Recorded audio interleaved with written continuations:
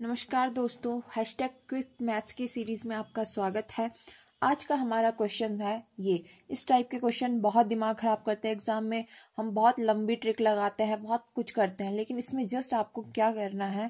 सबसे पहले आप एलसीएम ले लीजिए, यहाँ पे हो जाएगा टू वन सेम यहाँ पे चलेगा three minus one upon three आगे भी ऐसे ही चलता रहेगा four minus one upon four और लास्ट में हमारे पास आता है n minus one upon n अब हम देखेंगे कि यहाँ थ्री में से वन गया, यहाँ पे थ्री हो जाएगा, ऐसे ही आगे चलता रहेगा।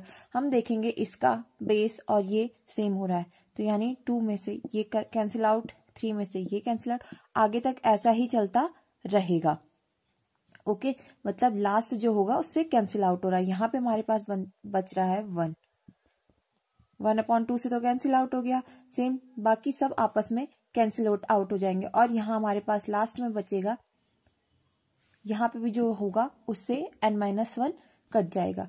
हमारे पास बच रहा है अपॉन में वन अपॉन एन और आंसर जो हमारा आता है वन बाई एन तो जो इतनी बड़ी सीरीज़ थी, उसका answer just one by n था। सब कुछ आपस में कैंसिल आउट हो रहे थे।